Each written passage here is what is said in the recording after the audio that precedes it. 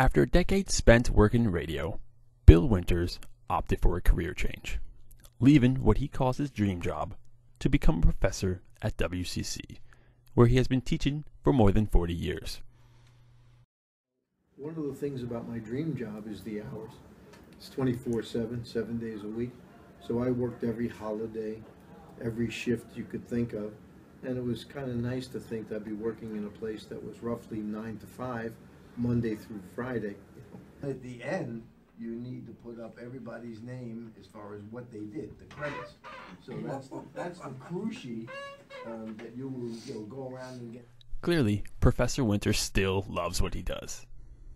really enjoy being in the classroom and like being in the TV studio right now. The students are down in the, in the TV studio. They're working on a scene from All in the Family, and uh, that's an old show that was on in the '70s. Went to number one.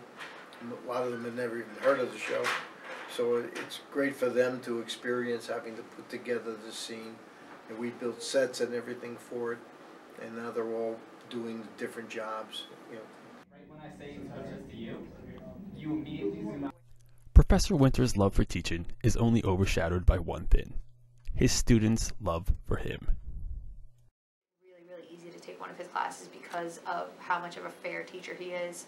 His workload isn't insane. He understands that students have a lot going on, and the time that he does have with you, he's teaching you really good stuff. No, that should be page three. So, what exactly keeps Professor Winters motivated after all these years? I think it's symbiotic. You charge me up, I try and charge you up. It's- It's great fun. It's the best part of the job.